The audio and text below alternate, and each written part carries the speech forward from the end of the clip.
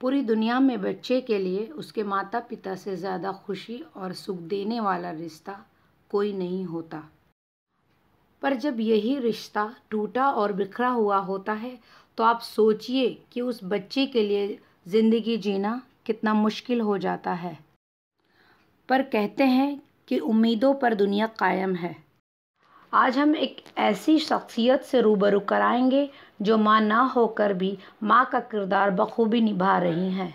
नमस्कार, आदाब। मैं नगमा खान अपने यूट्यूब चैनल रूबरू में आप सभी का स्वागत करती हूँ। आमचा घर, यानी कि अपना घर, ये ऐसा घर है जहाँ पर अनाथ बच्चों का पालन पोषण किया जाता है। या यूँ कह लीजिए कि जिनका कोई नहीं होता जो बेसहारा होते हैं उनका पालन पोषण किया जाता है। तो चलिए आज हम मिलते हैं आमचा घर की प्रेसिडेंट से। आज हमारे साथ हैं आमचा घर यानी कि अपना घर की प्रेसिडेंट सुशीला डायस जी। सुशीला जी आज हमारे चैनल रूबरू में आपका बहुत बहुत स्वागत है। नमस्ते। सुशीला जी आपके मन में कब ये सोच जागी कि मुझे इस तरह का काम करना चाहिए? मैम तो 1996 की बात है। जब एक लड़की ने मेरी ज़िंदगी बदल दी थी, वो स्टोरी ऐसी थी, वो लड़की सड़क पर रहती थी नाइन की प्लेटफॉर्म की बात है, और वहाँ से स्टोरी मालूम चला, इस लड़की का सेक्चुअल अब्यूज सोनकमा जी, एक ये स्टोरी जब चालू हुई थी तो ये 1996 से पहले की कहानी है, जब मैं सड़क पर गरीब और स्ट्रीट चिल्ड्रन सुरक्षा बच्चे होते हैं, उनके साथ में काम करती थी। वहाँ पे एक बच्ची थी, उसका सेक्शुअल अब्यूज़ हुआ था। तो बच्ची एक्चुअली मुझ, मेरे पास आके उसने मुझे बोला कि, दीदी आ, मेरे साथ कुछ हो रहा है जो मुझे पसंद नहीं है। फिर जब हमने पूरा इन्वेस्टिगेशन किया उसके अंदर तो वहाँ तो हमें मालूम चला कि वहाँ के काफ़ी लड़कियाँ को वो लड़का वो आदमी जो यूज़ कर रहा था और उनके घर में राशन दे रहा था। और सबसे बड़ी दुख की बात तो मेरे लिए ये थी एक धक्का लगने वाली बात तो ये थी कि जब उस माँ को मालूम था इसके बारे में कि मेरे बच्चे को यूज़ कर रहा है पर वो चुप रही कि उसका लगा कि कम से कम कोई राशन तो मेरे पास आ जाए। तो वो सबसे बड़ी बात प्रॉब्लम हुई हमारे साथ में। फिर हमने तो वो लड़की जब मालूम चला उसने हमें इस प्रकार से बोला कि लाइक मेरे साथ कुछ हो रहा है जो मुझे पसंद नहीं है। तो हमने जब पूरा इन्वेस्टिगेशन किया इसके पूरे एरिया के अंदर तो मालूम चला कि काफ़ी लड़कियों को वो आदमी यूज़ कर रहा था। एंड यूज़ कर रहा था और फिर और राशन दे रहा था। और माँ को ये मालूम था कि ऐसा हो रहा है पर वो गरीबी और यू नो मजबूरी के अंदर चुप रही। And that mean I could not take it कि मजबूरी में इंसान चुप रह सकता है क्या कैसे कैसे होता है। एंड uh, फिर हम लोगों ने उस बच्चे को पूरा इन्वेस्टिगेशन वगैरह करके उस आदमी को तो हम लोगों ने बिहाइंड द बार कर दिया। पर वो क्वेश्चन दिल दिमाग में हमेशा बना रहा कि नहीं, तुम, मैं अपने आप को सोशल वर्कर्स बोलती थी। हम निर्मला निकेतन कॉलेज के सोशल वर्कर्स हैं, ऐसा करके। और बट नाइन टू फाइव अपना काम ख़त्म हुआ, घर चले जाते थे। और फिर उसके बाद लड़की के साथ में, बस्ती में क्या होता है, वो क्वेश्चन कभी नहीं आया उसके पहले। जब ये क्वेश्चन आया, तब एक क्वेश्चन मार्क हमेशा दिल में बना रहा कि लेकिन नहीं, इन बच्चों के लिए कुछ ना कुछ करना चाहिए। जैसे जब हम कॉलेज में थे तो हम सब अगेंस्ट थे कि नहीं बच्चों को इंस्टीट्यूशन में नहीं रखना चाहिए ऐसे करके। पर जब रियलिटी हमने सड़क पे देखी मुझे मालूम है कि लड़कियाँ जो माँ सिंगल मदर थी इसके आदमी घर में नहीं था वो प्रैक्टिकली पड़ोसी को जाके बच्चे को देख भाई बच्चे को दो घंटा संभालना मैं काम करके आती हूँ। वो दो घंटे में हमारा नेबर हमारा पड़ोसी उसको किस तरह से यूज़ कर रहा है? तो कभी कभी माँ गलत चीज़ होगी तो भी चुप रहती है। कभी मेरे को, मैंने विटनेस किया है कि बच्चे को पेड़ के बाँध के मम्मी बच्चा, तू यहाँ पे रुक, मैं खाना खाना किसी के कपड़े धो के आती हूँ, किसी के बर्तन साफ़ करके आती हूँ। इस तरह के बच्चे। ना वो एहसास हुआ कि जो किताबों में हम लोग स्कूलों, कॉलेज में पढ़ते हैं और रियालिटी में कि यही बच्चे जिनके सिंगल मदर होती है। कि जो ना तो ना तो ऑर्फन कहला सकती है और ना ही वो डबल पेरेंट के साथ खेले और यदि सिंगल माँ अपने बच्चों को किस तरह से संभालती है? वो सबसे बड़ी परेशानी है। तो मैं कहा, नहीं, इन सिंगल बच्चों के माँ माँ, बच्चों के लिए मैं ज़रूर, लड़कियों स्पेशली लड़कियों के लिए मैं कुछ ज़रूर करूँगा नहीं। और आई एम फ्रॉम राजस्थान जहाँ पर लड़कियों को तो पढ़ाया ही नहीं जाता है। सबको ही मालूम राजस्थान की क्या कंडीशन मेरे पापा ने जब हमें पढ़ाया तो इस बात बहुत लंबी चौड़ी कहानी थी, कितने चैलेंजेस उन्होंने फेस किए थे वगैरह वगैरह। बट लाइक ना ये लड़की, उस लड़की ने ही मुझे ये मैं भी कहूँ दान दिया है या आँखें खोलिए कि सोशल वर्क में जिनको ज़्यादा ज़रूरत है उनके लिए आप कुछ करिए। तो मैंने उस वक्त तो वो काम छोड़ दिया था मैंने और लाइक एक भूत सवार नहीं हो जाता है किसी को तो भूत सवार हो गया था मेरे कि नहीं, इनके लिए कुछ ना कुछ करना ही है। तब मैं अपने, मेरे प्रेजेंट हस्बैंड के साथ फ्रेंडली थी तो मैंने उन्होंने कहा, मैंने उनसे कहा कि आप मुझे मदद करिए इसके लिए। मेरे पास क्या दो सोशल वर्कर से दो हज़ार आठ सौ रुपये मेरी पगार थी पहले कि, मैं क्या कर सकती हूँ दो हज़ार आठ सौ के ना? पर मेरे पास जब ये लड़की के बारे में मालूम चला और हम लोगों ने उस आदमी को बिहाइंड द बार कर दिया, पर उसके बाद एक क्वेश्चन दिल में हमेशा बना कि तुम क्या करते हो? तुम अपने आप को सोशल वर्कर बोलते हो, पर करते क्या एग्जैक्टली तो वो दिल में जो इतना बस गया था कि नहीं, इन बच्चों के लिए कुछ ना कुछ करना चाहिए, तब फिर हमने इन उस एरिया के चार पाँच लड़कियों को टारगेट किया कि कौन सी लड़कियाँ हैं जो कि इस तरह की परेशानी के अंदर हैं। और फिर हम लोगों ने जो प्रोसीजर होता है गवर्नमेंट प्रोसीजर होता है कि हम किस तरह से लीगलाइज करना भी ज़रूरी है क्योंकि लड़कियों का लड़कियों का प्रोजेक्ट है। फिर मैंने तीन महीने की छुट्टी ली वहाँ से और मैंने सब जगह स्टडी करी। तब मैं सुत्तन गाँव के अंदर आई थी और खिड़की खोला तो समुद्र सामने। मैंने कहा, वाओ दिस इज़ ब्यूटीफुल मेरे हस्बैंड जूह में रहा करते थे तो वी कुड अफोर्ड जूह के अंदर तो इतना महँगा है कि हम अफोर्ड नहीं कर पाते थे। गाँव में, उत्तन गाँव में we could afford a flat तो हमने किसी के साथ में फ्लैट चालू किया। और फिर चार बच्चे में उसी एरिया से चार बच्चे लेकर मैं इस उस उस घर में आई। गाँव के अंदर पहले घर था उसमें रहने के आए हम लोग। वहाँ पर भी हम रहे तो वो पैशन मेरा था कि मैं अनाथ बच्चों की या सुरक्षा बच्चों की सेवा करूँ या उनको एक भविष्य दूँ या उनको एक सेल्फ सफिशिएंट बनाऊँ या उनको एम्पावर करूँ सो दैट कि इस मुसीबत को अपनी अपनी चाहत से साथ में तो नहीं गल, गलत काम में करने जाए बच्चे। फिर वहाँ पे जिस घर में मैं रहती थी, उस घर से भी मुझे दो महीने बाद में निकाल दिया गया था। उनके घर वाले बोलने लगे कि ये तो हमारे घर को आश्रम बना दिया है। आप प्लीज़ अपना प्रोजेक्ट अपना अपना प्रोजेक्ट जो भी करना है मैं अलग जाके करना होगा। और उस उत्तन गाँव में मेरे पास कोई सहारा नहीं था। और ये एक बिल्डिंग जिसमें मैं आज रह रही हूँ ये बोलते थे कि इस बिल्डिंग में भूत रहते थे। तो यहाँ के जो बिल्डर थे, उन्होंने बोला, मैडम, आपको यदि चाहिए तो आप जाके चौथे माले पर रह लो, क्योंकि उनका फ्लैट बिक नहीं रहा था। तो मैंने कहा, कोई बात नहीं, मेरे पास तो like you know beggars have no choice तो मैंने कहा, चलो फोर्थ फ्लोर पर हम लोग रह जाएँगे। और जब लोगों ने कहा कि नहीं, वहाँ तो भूत रहता मैंने कहा, कोई बात नहीं, मैं भी बड़ा भूत बन जाऊँगी वहाँ पर रहने के लिए। और मैं चौथे माले पर आए में पहली रात हम लोग सात बजे करीब यहाँ पहुँचे थे। जब मैं इस घर के अंदर आई थी, मेरे पास मेरे चार बच्चे थे, उनको मैं चार पाए बोलती हूँ, हम चाह करके मेरे पास तीन चटाइयाँ थी एक छोटे से रिक्शे में एक भगवान जी का फ्रेम था और मेरी एक सूटकेस और एक बकेट वो सामान मैं लेके आई थी। और मतलब मतलब इस इट्स सो ब्यूटीफुल कि जो बच्चे जो मेरे साथ में मैं जिनको मेरे चार पाए मैं अपने बच्चों को बोलती हूँ, उन बच्चों को कैसे अमचाकर धीरे धीरे उनको, उसको मालूम है कि हर कोना मॉम ने और डैड ने किस तरह से इसको मिलके बनाया है और धीरे धीरे अमचाकर कैसे ग्रोथ हुआ है। दिस वॉज़ मेन रीज़न कि मैंने अमचाकर की शुरुआत की थी। वो शुरुआत हुई थी इसकी 14 अप्रैल 1996 को हुई थी। मैम, सही में आप इन बेसहारा बच्चों के लिए बहुत ही नेक काम कर रही हैं। मैं आपसे ये जानना चाहती हूँ कि आपके अपने परिवार में कौन है और आपके बच्चे कितने हैं? मेरे पास 96 बच्चे हैं और आई फील वेरी प्राउड कि मैं 96 बच्चों की माँ हूँ। और पर मेरी माँ ने, मेरी माँ को जब मालूम चला कि मैं अपना बच्चा पैदा नहीं करने वाली हूँ और इन्हीं बच्चों को मैं अपना बच्चा मानती हूँ। माँ मुझसे बहुत गुस्सा हुई थी। तो माँ ने मुझे बोला तो मैंने मैंने अपनी माँ से कहा कि, माँ, आप है ना, एक बार मेरे पास आइए। क्योंकि माँ को ये नहीं समझ में आ रहा है कि सोशल वर्क होता है? क्या जहाँ तुम अपना पैसा उठा के कहीं डाल रहे हो। यू नो बोले, मेरी दूसरी बेटियाँ सब मेडिकल लाइन में है। सो सारी बेटियाँ पैसा कमा रही हैं इन्जॉइंग द लाइफ ब्ला और तू है जो कि जो भी पैसा है, तेरे हस्बैंड का जो भी पैसा है, वो कहीं और डालना मांग रही है।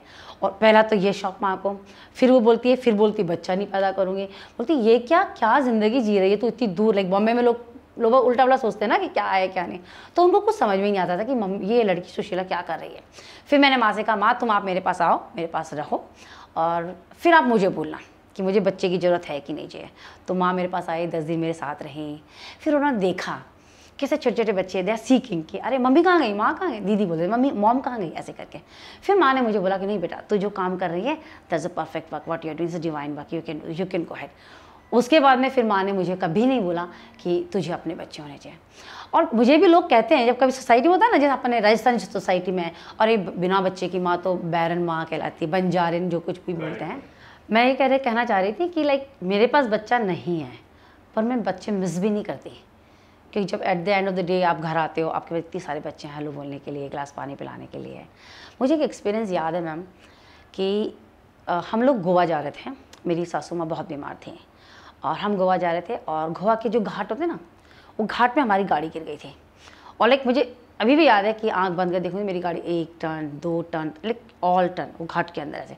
तो हमने कहा, हम तो गए। मैंने ना एक छोटा सा पत्थर आके, मेरी टवेरा इतनी बड़ी गाड़ी छोटा सा पत्थर आके गाड़ी वहाँ पे अटक गई। गाड़ी कम्प्लीटली क्रश हो गई थी। और हमें कुछ भी, कुछ नहीं लगा। थोड़ा सा ब्लड के क्लॉट रहता ना ब्लड ब्लड क्लॉटिंग हो गया था। और पर मेरे हस्बैंड को स्पाइन में लगा था उनको। तो और वो ड्राइव कर रहे थे। और वो उठ नहीं पाए। तो हमने उनको लेके हम लोग जो भी लॉन्ग स्टोरी है शॉर्टकट करने के लिए हॉस्पिटल लेके आ गए। और विद इन टेन डेज़ के अंदर मेरी सासू माँ एक्सपायर हो गई और my pop my husband loves her no he was eldest son ऐसे करके।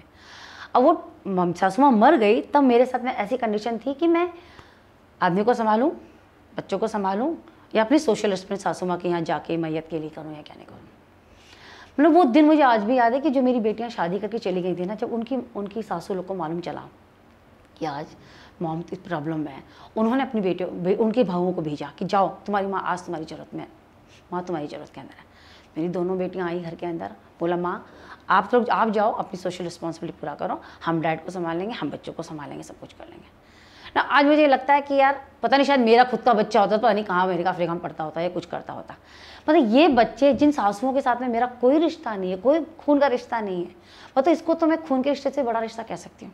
मतलब मुझे इतने दिल छू लेता है कि लाइक मैंने बच्चे पैदा नहीं किए हैं but see how many people are there to stand with me मतलब अभी मेरे हस्बैंड अभी बीमार थे, गोवा के अंदर फट, बच्चों को मालूम था कि मॉम नहीं जा सकती है, कि बच्चों के एग्ज़ाम्स से बच्चों के कुछ विजिटर थे कोई इंस्पेक्शन था, कुछ था। फट बच्चे ने अपनी छुट्टी आगे पीछे करी फ़्लाइट ली और बच्चे डैड के पास आईसीयू के अंदर, सीधे स्टेट आईसीयू के अंदर। आई मीन मैं इट्स सो सो सेटिस्फाइंग कि अपना खुद का बच्चा भी नहीं है, पर फिर भी बच्चे खड़े। मतलब मेरी मेरी बहनें कहती हैं सुशला ये जो तेरे नहीं है ना, वो सबसे पहले तेरे हैं। And it's really touchy part so I really don't miss कि मेरे पास मेरा बच्चा नहीं है या कुछ नहीं है। So it's like that Sushila ji, इन 25 सालों के सफ़र में आपको कौन कौन सी परेशानियाँ आई परेशानियाँ तो मैडम ये तो part of parcel of life हो गया है। कि challenges every moment can be a challenge for us like you know शुरुआत में था तो हमें लगता था कि पैसे की चैलेंजिंग है पर हमें ऐसा स्टेटस है डिफरेंट डिफरेंट स्टेट है कि जब बच्चों की प्रॉब्लम्स आ जाती हैं या यू you नो know, उनके इमोशंस की प्रॉब्लम आ जाती है बच्चों को जब सड़क छाप से लेके आते हो घर के अंदर रखते हो तो वो प्रॉब्लम हो जाती है कि बच्चों को एडजस्ट करने में दिक्कत हो जाती है। बच्चों को स्कूल भेजा तो स्कूल में डॉक्यूमेंटेशन नहीं है बच्चों के तो वो प्रॉब्लम हो जाती है। अभी रिसेंटली रिसेंटली से चार पाँच साल पहले हमारे बच्चे जो पढ़ाई ख़त्म कर लिए they wanted to go abroad कि भाई आगे बढ़ जाना है। तब उनको मालूम चला कि अरे हम तो पासवर्ड ही नहीं बना सकते क्योंकि हमारे पास आधार कार्ड आधार कार्ड नहीं बर्थ सर्टिफिकेट ही नहीं है। तो गवर्नमेंट ने इतना स्ट्रिक्ट रूल था कि बर्थ सर्टिफिकेट नहीं होगा तो आप पासवर्ड बना ही नहीं सकते। And were disappointed for the girl child and then you know वो कहते हैं ना, जिसका कोई नहीं होता खुदा होता है समथिंग लाइक दैट एंड ये इशू हो गया, उसके बाद कुछ सालों बाद में एक दूसरी बच्ची तैयार थी, उसने भी होटल मैनेज मैनेज किया और उसको भी अब्रॉड जाना था। उसने बोला, मामा, मेरे पास तो पासपोर्ट सर्टिफिकेट मेरे पास तो आधार का सॉरी मेरे पास तो बर्थ सर्टिफिकेट है तो मेरे को तो पासपोर्ट बनाने के लिए आसान पड़ेगा। मैंने कहा yes you can do that तो हमने वापस साइट खोली और साइट खोलते ही उसी बच्चे ने जिसका पासपोर्ट नहीं हुआ, उसी बच्चे ने साइट खोली बहुत अच्छे कंप्यूटर में, उसने साइट खोली और कुछ पॉपअप देखा उसने उसके अंदर। और पॉपअप देखते उसने मामा, ये वॉट इज़ दिस उसको ओपन करा तो वो पासपोर्ट अनाथ बच्चों के लिए, इस तरह का जीआर पास था गवर्नमेंट से। ओ भाई लाइक इस वॉज़ लाइक सोने पर सुहागा ये बोलना चाहिए इस तरह की चीज़ होगी या फिर उस बच्चे का बनाया दूसरे बच्चे का बनाया। अब अब बच्चों को शांति है कि लाइक यू नो हम पासपोर्ट बना सकते हैं और हम प्रूव कर सकते हैं कि हम लोग भी इंडिया के ही लोग रहने वाले हैं। मैम वाकई में आप बहुत ही नेक काम कर रही हैं इन बेसारा बच्चों के लिए। मैं आप सुशीला जी इन 25 सालों के सफ़र में आपको क्या क्या परेशानी मैम परेशानी तो देखो तो आप डिफरेंट टाइप्स ऑफ़ परेशानी है सोच लो आप। वो फाइनेंस हो इमोशनल हो, बच्चों की हो यू नो सोसाइटी की हो बिल्डिंग में सोसाइटी की हो you know different different types of पर मुझे एक एक इंसिडेंट मेरी ज़िंदगी का याद है। मैंने 96 में शुरू किया था, बड़े जोश से। पर मुझे उस वक्त एहसास नहीं था कि अपना कमिटमेंट या अपना डेडिकेशन ही कम नहीं आएगा। पैसा भी चाहिए लिक्विड मनी भी चाहिए चलाने के लिए। यू नो नाइन्टी एट के अंदर या नाइन्टी एट के अंदर हम हम लोग सात बच्चे थे मेरे पास में और हम सात बजे शाम को छोटा सा परिवार था। मैं ही बच्चों को पढ़ाती थी, बच्चों के साफ़ करती थी खेला बनाती थी।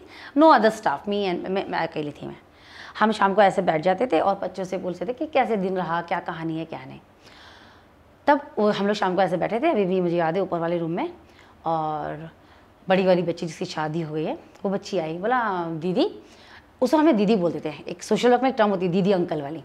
तो उस वक्त तो मुझे मुझे दीदी बोलते थे, उन्होंने बोला, दीदी, कल ना स्कूल जाने के लिए पैसे नहीं हैं। तो मैंने कहा, उस कवर्ड में चेक करिए, उस बैग में चेक करिए, ना यूजली अपन कैसे बच्चों को बोलते हैं ऐसे करके।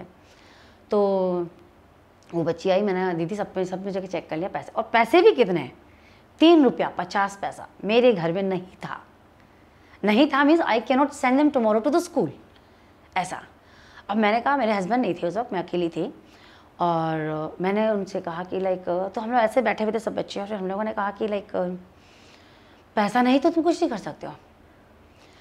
तो मैंने उन लोगों से बोला कि चलो ठीक है, मेरी इच्छा थी मैं ऐसा कुछ तुम्हारे लिए कुछ अच्छा काम करूँ, या तुम्हें पढ़ाऊँ, या लिखाऊँ, या आगे बढ़ाऊँ, बड़ा बनाऊँ, पर जब पैसा नहीं होगा तो मैं कुछ नहीं कर सकती। तो मैंने उनको बोला कि ना, मैं, मेरी जो संस्थाएँ, बड़ी संस्थाएँ हैं, जो इतने सालों से चल रही, जैसे स्नेहा सदन की संस्था है, वैसे संस्था में, वहाँ के जो लोग हैं, उन लोगों को मैं आप, मैं उनको अब तो मैं यहाँ से शिफ्ट करके वहाँ पर भेज देती हूँ। जैसे कि मैं तो अकेली हूँ, हम लोग चल जाएँगे, हमारी गाड़ी चली जाएगी बट तुम्हारा सुबह सड़क से लेके आई हूँ, वापस सड़क पर तो मैं नहीं भेज सकती। तब उन बच्चों ने मुझसे कहा, माँ, मोम, हम सड़क पे ही भूखे रहते थे, आपके पास ही भूखे रह जाएँगे, पर आप हमें यहाँ से निकालो मत। एंड मैं भी कहती हूँ शायद मेरा वो दिन था, और आज का दिन है नो टर्निंग बैक वाला जो होता है ना, कि बच्चों ने अपनी मेरी आँखें खोल दी कि, सुशीला मोम, आप कुछ काम कर रही हो और हम आपसे अटैच्ड हैं। And that was the day that I never turn back and and then वो एक एहसास नहीं होता है कि, क्योंकि इशू होने के बाद में दो तीन दिन बाद में किसी ने आके मुझे थर्टी थाउज़ेंड का थर्टी कैश दे के ला के दिया मुझे। कहने का मतलब यह है कि ये रोलिंग स्टोन जब प्रॉब्लम्स आती हैं, पर चलती रहती हैं, क्योंकि ऊपर वाला मेरे से ऊपर से बैठा है वो ये काम करवा रहा है ये प्रूव करता है मुझे कि सोच तू सिर्फ़ काम कर रही है मेरा। मैं हूँ ऊपर से, जब तू मुसीबत में आ जाएगी, जब तू टूट जाएगी कंप्लीटली मैं ज़िंदा हूँ वहाँ पर एंड ऐसे तरह के इंसिडेंट मैम जब फ्लैट खरीदे थे हम लोगों ने ये वाले फ्लैट देने वाले ने तो मुझे फ्लैट दे दिए थे। कि मैंने उनसे कहा था कि भाई, आज मैं पैसा नहीं दे सकती। वो तीन तीन लाख में फ्लैट मिल गए थे मुझे उस वक्त, बीस साल, पच्चीस साल पहले। मैंने कहा, तीन लाख दे आपको पैसा दे दूँगी मैं तो मैं पूरा साल कैसे चलाऊँगी मेरे बच्चों का? तो उन्होंने भी मुझे एक फैसिलिटी करके दी थी कि भाई, जब भी आपके पास पैसा हो तो आप दे दिया करो। पर जब उस आदमी को पैसे की ज़रूरत है मेरे पास पैसा नहीं है तो it's not possible and then I I मतलब आज भी मुझे लोग कहते हैं कि सुशीला मैडम, ये बिल्डिंग में क्यों रहती हो आप? मैंने कहा बिल्डिंग बेच के आप चले जाओ, नीचे जगह रख लो या करो। तो मैंने कहा, भगवान, मुझे मालूम है कि हर दीवार यहाँ विटनेस है, हर कॉर्नर मेरा विटनेस है कि मैंने इस आश्रम को चलाने के लिए कितने आँसू बहाए हैं कितनी मुसीबत पैसों की लिए या बच्चों की है, या अपनी खुद की emotional problems you know to sort out अपना तुम नई जगह पर हो, नए लोग हैं, बहुत सारी चीज़ हो जाती है इसके अंदर लेकिन हर चीज़ इससे काउंटर है इसके अंदर. इस तरह से लाइक मतलब कहना ना कि रोज़ की प्रॉब्लम रोज़ रोज़ नई नई प्रॉब्लम चलती जाती हैं, और अब मुझे विश्वास हो गया है कि ये प्रॉब्लम आएँगी, अपने आप को तोड़ेंगी और आगे बढ़ाएँगी और सोशल वर्क में सोशल, भगवान कहता है, सोशल बिकम बी स्ट्रॉन्ग कि then you are ready to face all the world so this is really beautiful so challenge अब तो ऐसा हो गया कि नहीं चैलेंजेस होने चाहिए। नहीं तो शांत रहते हैं, कुछ हो नहीं रहा आजकल लाइफ में, लेकिन शांति कैसे चली आएगी so it's like that Sushila ji, हमारे प्रोग्राम रूबरू में आने के लिए आपका बहुत बहुत शुक्रिया। और हमारी यही शुभकामना है कि आप इसी तरह से अपनी ज़िंदगी में आगे बढ़ती रहें। और जो आप काम कर रही हैं वो इसी तरह से आपको विश्वास से चलता रहे और यही हमारी शुभकामना है कि इस तरह से स्वस्थ और सुंदर दिखती रहें। यही हमारी शुभकामनाएँ हैं। Thank you